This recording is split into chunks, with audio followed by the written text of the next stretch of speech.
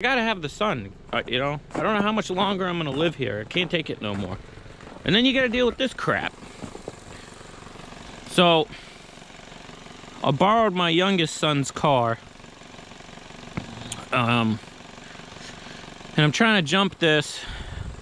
I should go get my charger. I let someone borrow my charger that plugs into the electrical cord. Um, what I should do is invest in a jump pack. I tried to jump this with the Pete, but for some reason the Pete will fire up like nothing, but it doesn't want to jump the truck.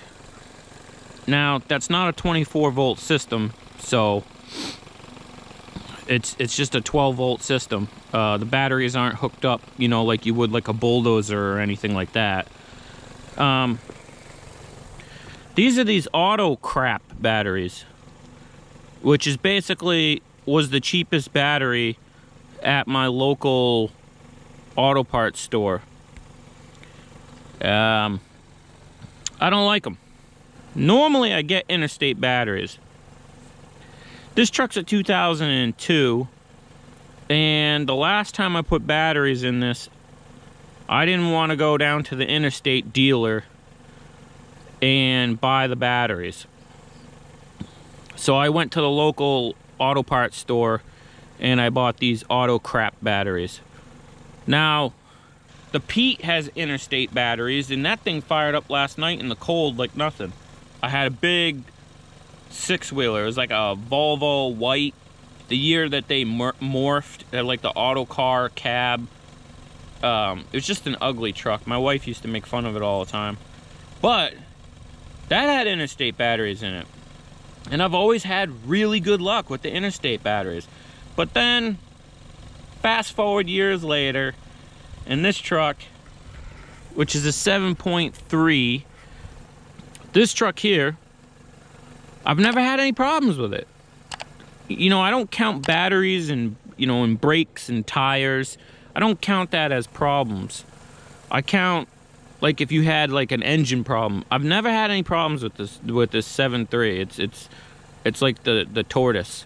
You know, it ain't the fastest, but as long as you got good batteries, it, it goes. I want I really want to get this truck started. I want to get this truck out of here and get it up to where I have some tools because there's no tools back where this is parked. That way I can get these batteries out and then go get some new ones. But this time, I'm gonna go get the interstates.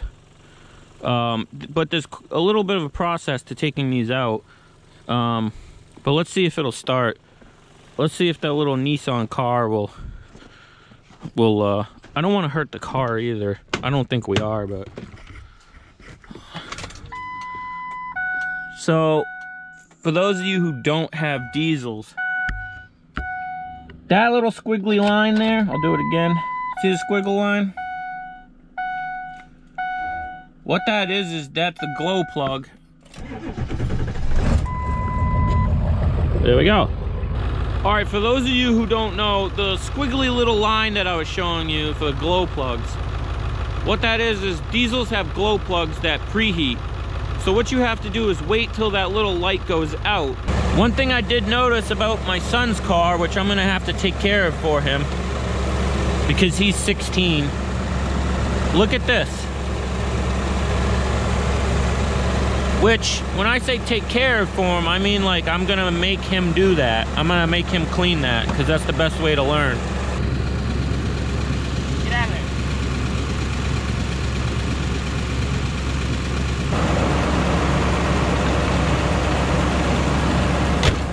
We are going to this place that sells the interstate batteries.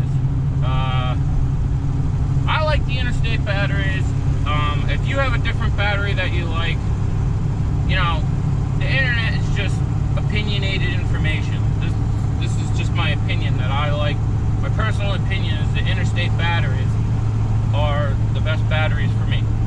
Now, they only sell these things, I don't know, like four towns over in a little strip, uh, there's like an interstate store. I'm not bringing the old batteries with me for the core charge because I called the guy ahead of time and he said it's only $16. And he said you can return them anytime. Um, and I need the truck to go get the batteries. I could have put them in the trunk of the car, but um, it's not my car. And the person whose car it is, uh, he needs it to go to work. So I am not going to bring the batteries right now. And after finding out, I can return any battery at any time and get, you know, uh, 16 bucks per battery.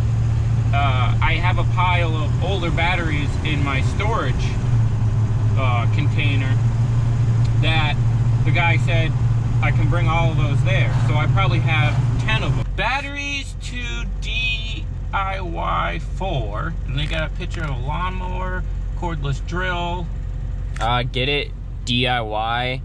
Die? Batteries to die for? ah, I see what you did there, Interstate. Oh, you're so funny.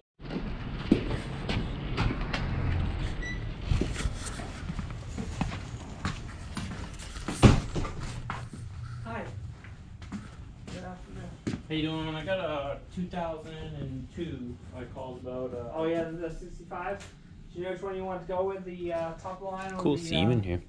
what is the I haven't been in here before. warranty on the, the grease. I'll probably just go with the um the lesser because I'm cheap. Yeah. You know, the- Oh, actually, we used to sell these ones at uh at the hardware store I used to work at for the uh, the little lawnmower batteries. So I do recognize that. All kinds of phone chargers, USB, all that.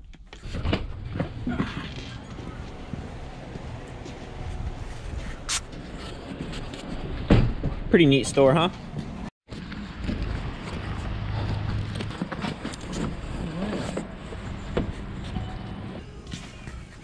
I always find battery terminal cleaners like up and around the. Probably need the batteries, right? I mean, yeah, I would assume. Or on these little tool racks. Perfect, just like that. Boom. All right, I'm gonna get this and then get out of here. Okay, PB, PB, PB. We're getting the big can. This stuff is kick ass. He says, but that's all I'm going to tell you. He's the only he's he's one of two guys I've ever met in my entire life where if someone tells you a story about them, it, it's like you know people bullshit like oh Yeah, I was just no like, bullshit I was about too him. I mean this dude literally almost died on the operating table from having a pool stick cracked over his head.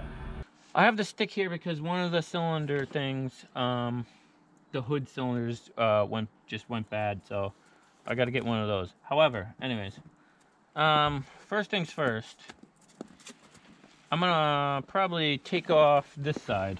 This is the easier side. Um, let me get some tools. I got this cheap Harbor Freight tool wrenches, which is not a problem. They've always served me fine. So I took I took the ground off first because some old dude once told me to take the ground off first.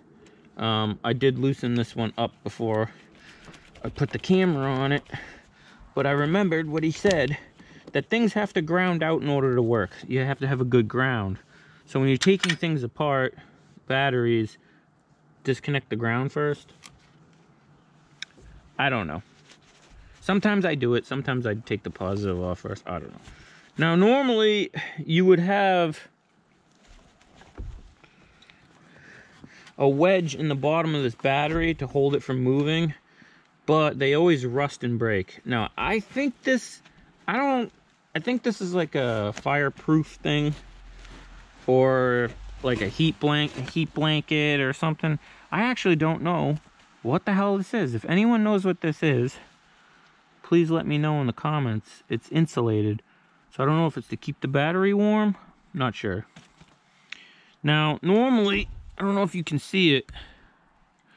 Down in here, they have a wedge, little plastic thing, and there's a rod that comes up to, you know, like halfway up. You'd put a socket on it and you would turn it.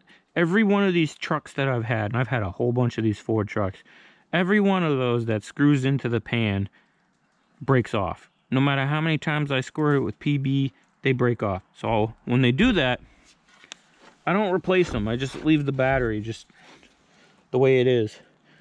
And um, I've never had a problem. Um, they don't, the batteries don't really move. So let's get this out of here. Made in Korea. Problem is, I can't reach over the fender too good because I'm too short. Ah, there we go.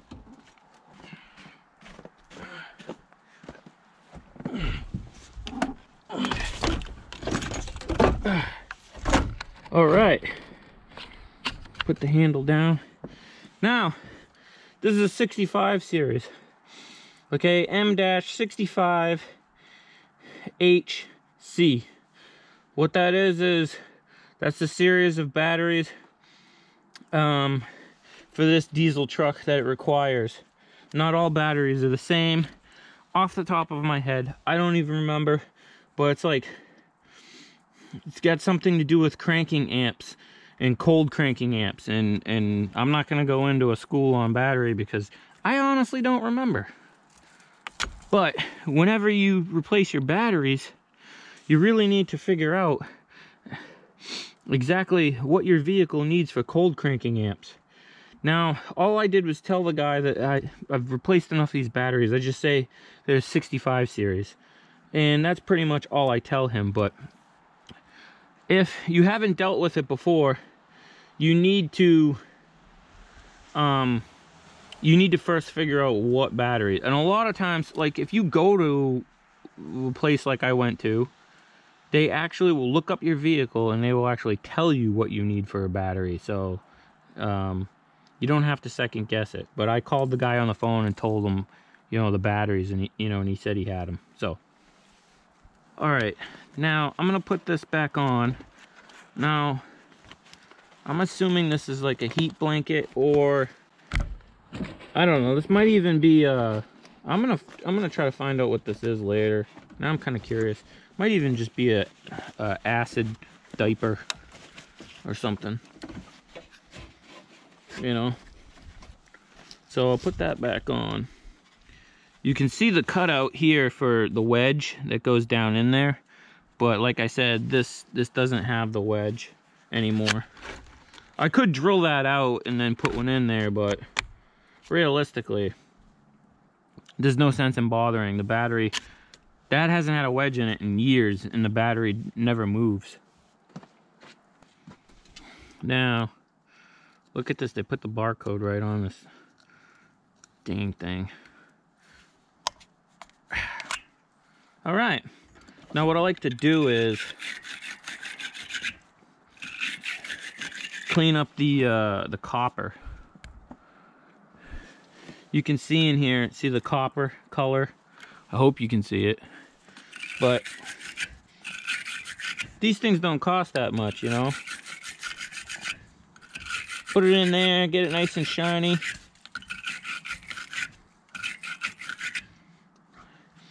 And then uh, get this one nice and shiny.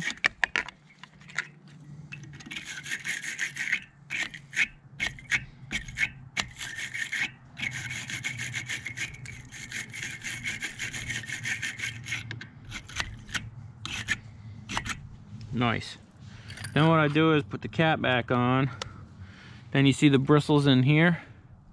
What I like to do is, even though this is new, I like to shine this up a little bit. The lead.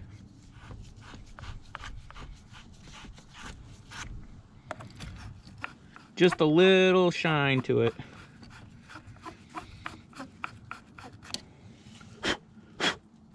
Now,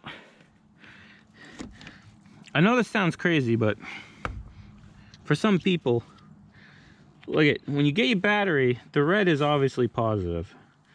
But if you have two of the black ones, the easiest thing to do is if you look on the battery right here, it'll have a plus for positive, and over here it'll have a minus for negative. Now I know that sounds crazy to some of us, but there are people in the world that don't know this stuff.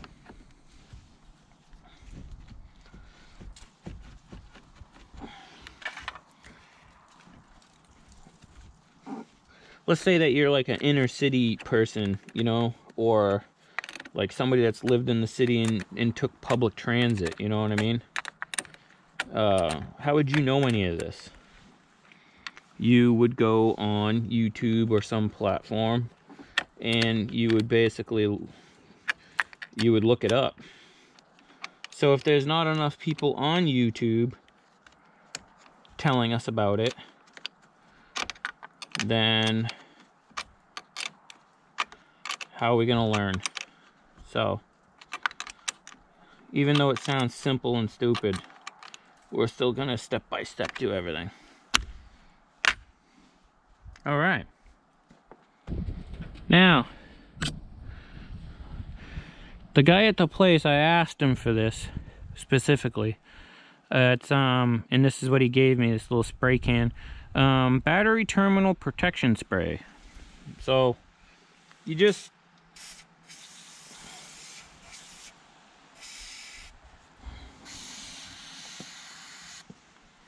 put it on like so.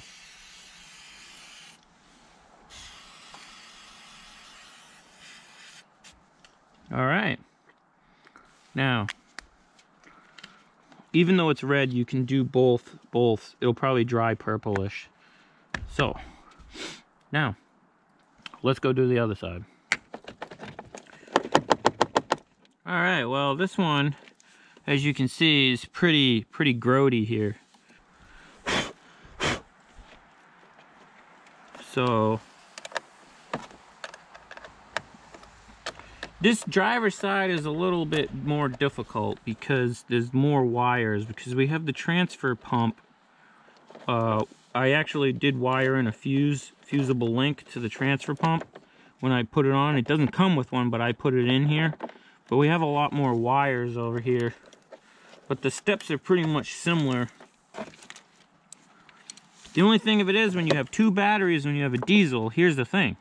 You got to remember, this is connected to positive on that side. So when you go flipping it over, okay, you want to make sure you don't flip it over and touch it on something metal because it will arc out. So what I like to do is I like to put this back over it.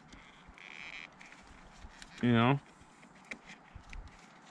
That way we don't have a problem, you know? Because we now have to do the next step, which is pulling off this piece of plastic.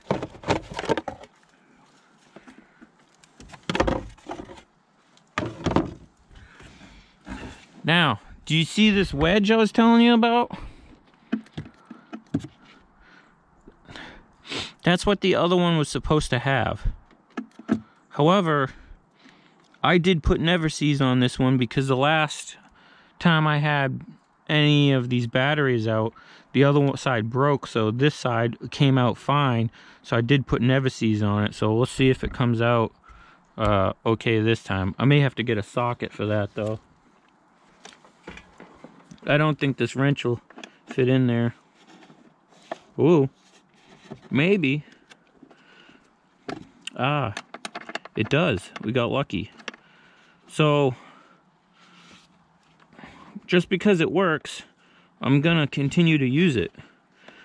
Um, and I'm gonna put it back in because what's the point in taking it out and throwing it out just because the other side broke, you know what I mean?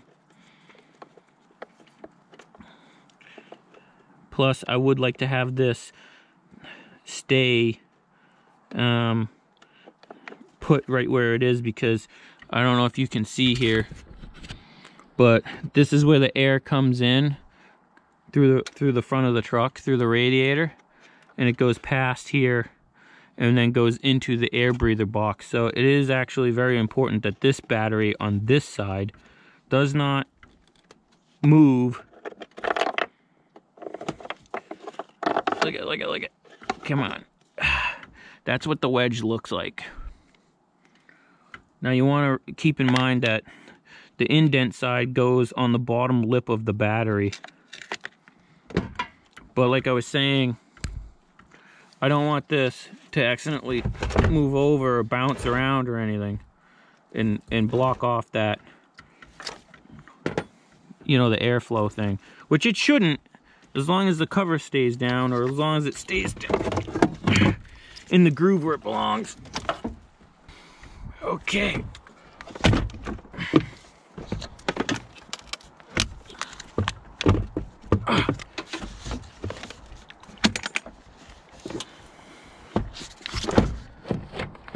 All right. Now, this shouldn't move too much in this box because there is a little lip here, but if you hit a bump, I mean, look it. You know, it could come all the way over. Highly unlikely, but now we need to take off. Let's put the positive on first.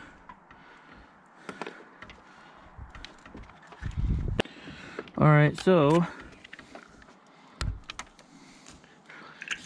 let's take this. I may have to get a regular wire brush.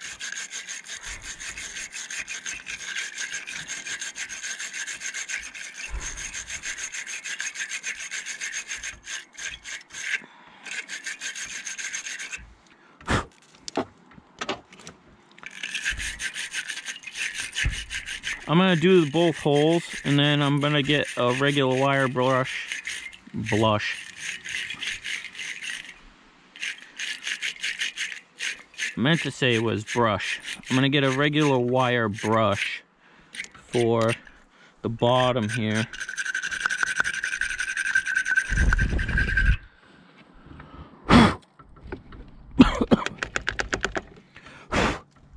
See it's nice and shiny inside but these don't do very good on the bottom. I mean, you, you could, but it'd take a little long. So what I'm gonna do is use the regular wire brush.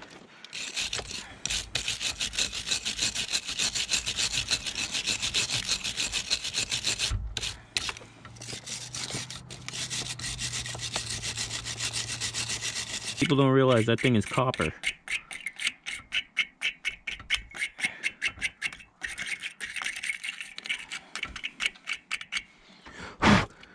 All right, that's pretty good. Now I gotta do this one. This lip, see that lip? That goes on the bottom of the battery, has a lip on it. So,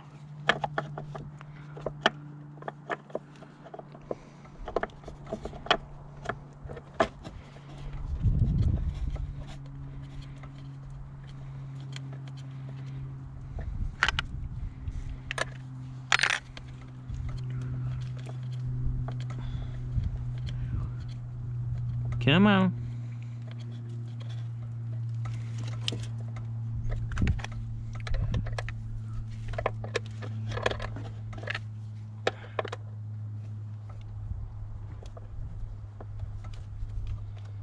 You don't have to go crazy tight with this either, you know. It's just it's it's got little grooves in it to keep it from moving around. So Nice. Put the handle down. Put the breather box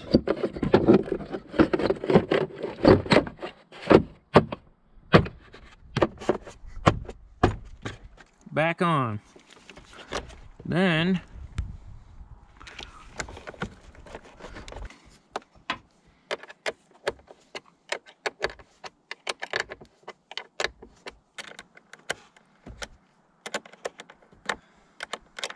just cake it on.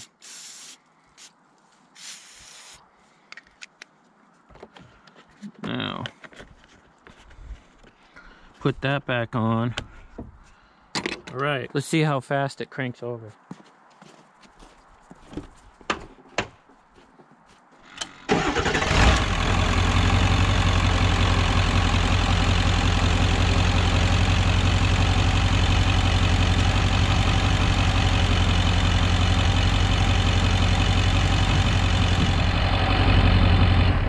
Well, all right, guys. I know that wasn't the most exciting thing in the world to watch, but that's just part of the stuff that I do behind the scenes with the trucks and equipment is replacing parts like batteries, alternators, um, you know, brakes.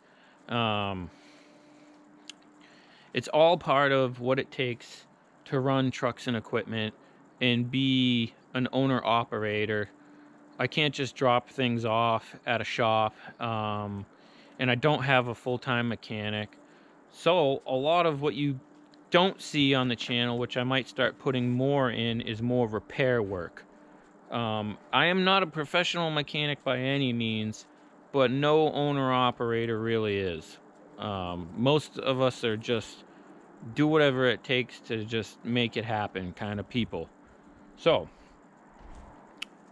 maybe that'll help somebody, maybe it won't, but with all the snow on the ground, that's what we're doing. Catch you on the next one.